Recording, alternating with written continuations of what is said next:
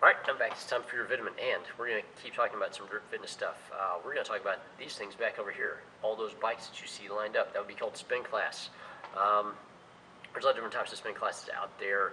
Uh, the main thing on that, just for your knowledge, since we're doing a little knowledge of series here, uh, for spin, take your time, get into it. It's like biking. If you haven't sat on a bike for an hour, it is pretty tough. They do make some shorts, specialty shorts for that. I suggest you get a pair if you're going to try and do some, some spin because, well, You'll need the cushion. It does help considerably, males or females, and the bike seat helps out too. Um, so with that, uh, spin, great class, tons of calories burned. Uh, you know, you'll hear the whole thing about you can burn a thousand calories in a class. That is after you have gotten in shape to do so. Uh, so start in slowly, do what you can do, go at your own pace, enjoy the classes, enjoy the rhythm and the music and you know the dirt part of it.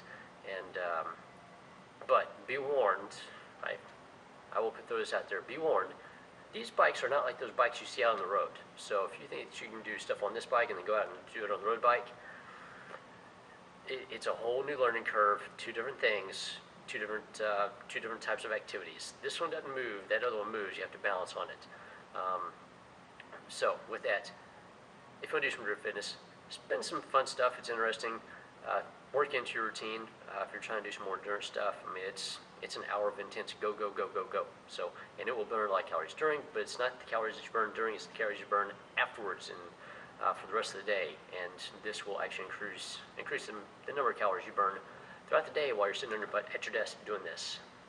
So, uh, with that knowledge of spin and biking classes, go join up, try one, have, have fun with it, but make sure you got the bright shorts to do it with because you will need the padding. So that's your video for the day. See you later.